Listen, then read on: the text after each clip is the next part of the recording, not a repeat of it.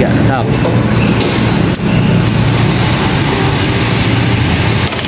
Oh no. Yang gedean kebutuhan nih. Oh iya sekali ini ada sudah motor Yamaha Mio M3 Blue Cian nih ya guys. Cuma catnya nih cat sendiri ya. Jadi customernya ini menginginkan tenaganya lebih besar lagi ya. Ada solusi buat kalian yang ingin upgrade Yamaha Mio M3 kalian ya. Kalian bisa terapkan piston Honda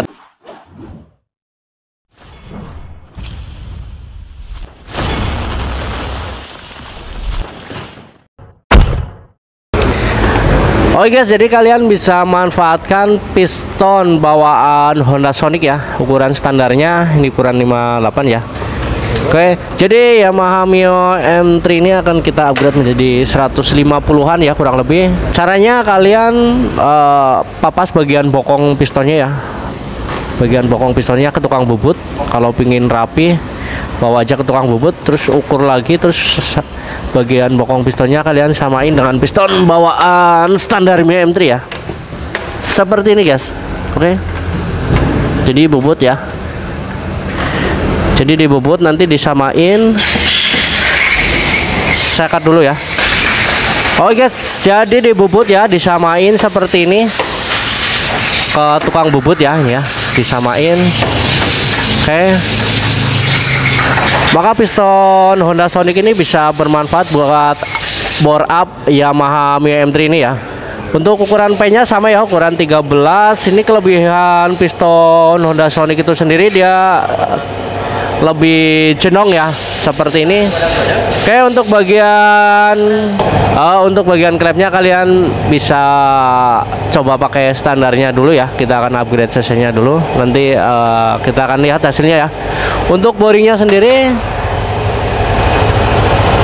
ini kita tanam besi ya. Jadi boringnya kita kasih liner besi kita rubah agar bisa masuk piston Honda Sonic itu sendiri ya. Oke kita simak bersama-sama. Masih bersama Bro Irfan yang akan mencoba pour up Yamaha Mio M3 ini. Uh, semoga hasilnya maksimal ya. Jangan lupa yang baru masuk ke channel kami dukung channel kami dengan cara tekan tombol subscribe. Tetap stay in, stay in my channel. Salam gaspol Oke guys untuk perubahan piston bawaan Honda Sonic itu sendiri perhatikan bagian sini ya. Jadi kalian untuk merubah bagian bokongnya uh, sebelum dipasang semula kalian tes dulu apakah bokong pistonnya nabrak ke bagian ini ya. Bagian injektor oli ini ya. Oke. Penyemprot oli di bagian dalam ini ya. Jadi hati-hati jangan sampai nabrak ke bagian jet oil ini kita simak bersama-sama. Oh yes kita mulai pemasangan ya. Jadi pistonnya kita gunakan produk dari NPP ya. Uh, piston ini saya ingatkan lagi tidak PNP kalian harus melakukan perubahan di area bokong pistonnya ya kalian harus rat, apa ya ukur rata bokongnya dengan piston standar Yamaha M3 ya. Kalian wajib ke tukang bubut untuk melakukan perubahan ini. Kalau kalian tidak punya alat bubutnya ya agar hasilnya maksimal. Oke masih proses pemasangan piston Bro Irfan. Kita lihat bersama-sama guys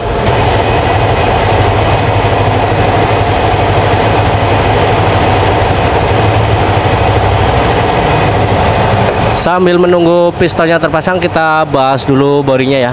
Jadi ini boring bawaan Yamaha Mi M3 ini ya. Boring ini sebenarnya belum rusak sih. Kilometernya masih 40.000 cuma kita manfaatkan lagi. Jadi boring bekas bawaan Yamaha Mi M3 ini kita rubah ya ke tukang bubut juga ini ya. Kita ganti linernya dengan menggunakan liner besi ya di sini. Mudah-mudahan ini boringnya awet ya karena kita ke tukang bubut yang sudah terkenal ya dengan boring-boring kualitasnya yang lumayan bagus. Oke. Ini bentuknya seperti ini kita rubah. Untuk diameter luarnya kita review dulu ya sebentar. Oke. Untuk diameter luarnya ini 62 ya di diameter luarnya 62 untuk boringnya. Jadi eh, sangat aman sekali. Eh, pada proses pemasangan ke crankcase-nya ini tidak seret ya.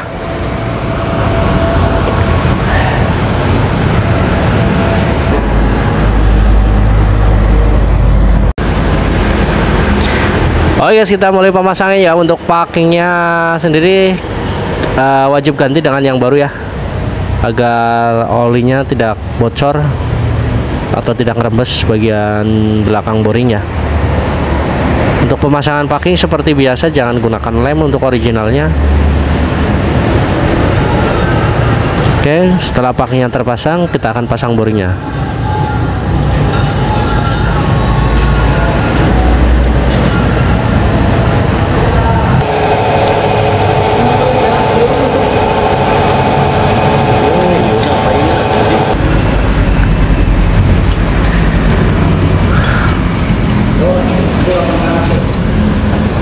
Oke guys masih dalam proses pemasangan ya.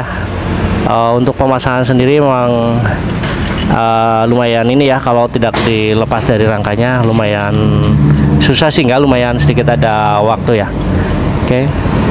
Alhamdulillah untuk pemasangannya lancar. Kita akan coba ya nanti pergerakan pistonnya.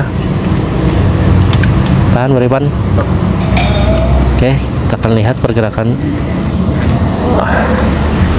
Oh guys untuk pergerakannya jadi seperti ini ya. Nih. Oke mantap. Mantap ya. Oke. Sudah kita posisikan di top. Untuk in dan X nya ini sudah ada catatannya sih untuk produk dari NPP itu sendiri. Jadi kalian tidak usah takut tertukar ya. Oke mungkin itu aja informasinya untuk pemasangan pistonnya Alhamdulillah sudah beres. Kita pasang piston Honda Sonic dan ukuran standar ya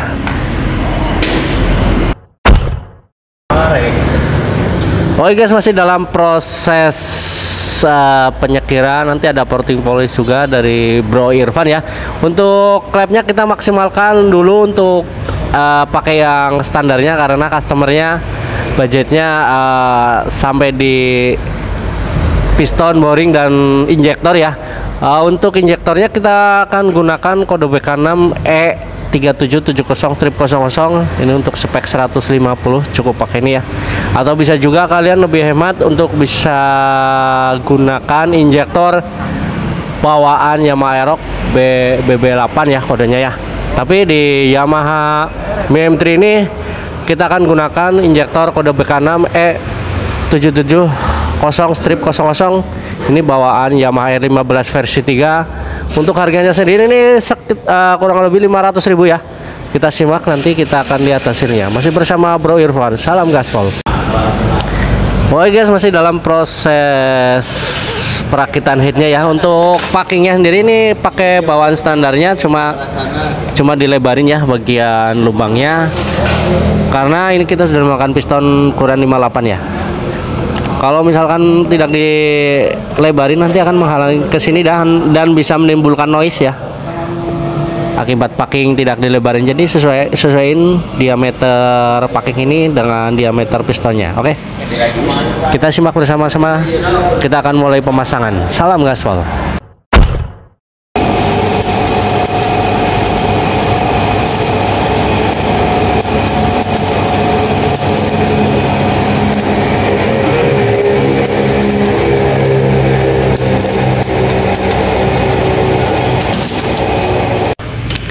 Oke guys masih dalam proses penyetelan klep ya. Uh, di sini untuk spek headnya klepnya kita masih gunakan pakai bawaan karena kita ini masih karena customernya masih menggunakan motor ini sebagai motor harian ya. Jadi buat kerja juga buat pokoknya buat harian lah tidak bukan buat balap. Jadi ini untuk spek mesinnya kita spek headnya masih kita pertahankan standarnya dari klepnya juga cuma kita bikin porting polish nokon asnya masih standaran oke? Okay. Bro masih dalam proses penyetelan klepnya nanti injektornya kita gunakan kode BK6 simak terus guys. Salam gaspol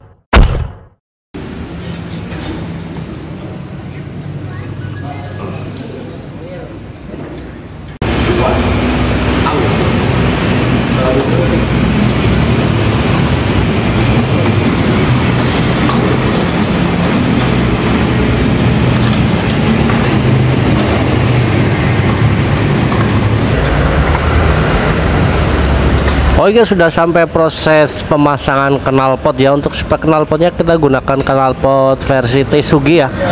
Eh, jadi semi bobok oke nanti kita akan lihat suaranya setelah kita pasang piston bawaan Honda Sonic ya. Oke simak terus guys hasilnya. Oke guys, alhamdulillah untuk Yamaha Miam 3 ini sudah beres kita rakit ya mesinnya. Eh, sekarang kita akan reset dulu ya ECU-nya dengan menggunakan diagnostic tool versi yang lama ya karena ini masih bisa connect ya untuk ECU ini. Oke, kita simak bersama-sama.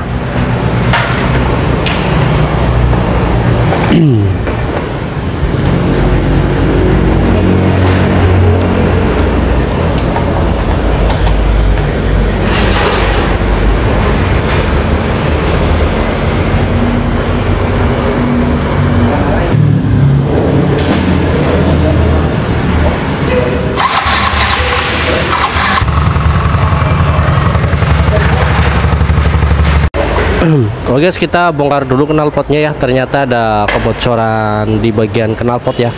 Kita benerin dulu. Eh, setelah tadi kita pasang ya sebelumnya ternyata di bagian kepala knalpotnya ada bocor ya. Bro Irfan masih dalam proses perbaikan packing knalpotnya Oke guys, setelah kita perbaiki knalpotnya ya, ternyata packingnya sudah tidak layak pakai. Kita ganti dengan packing yang baru ya. kita akan coba nyalain.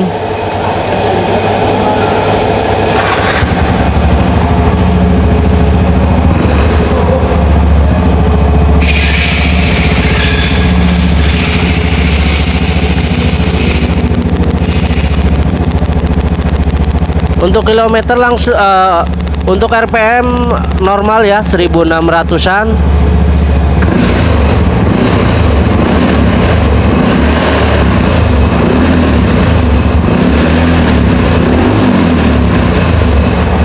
Suara mesin lumayan halus.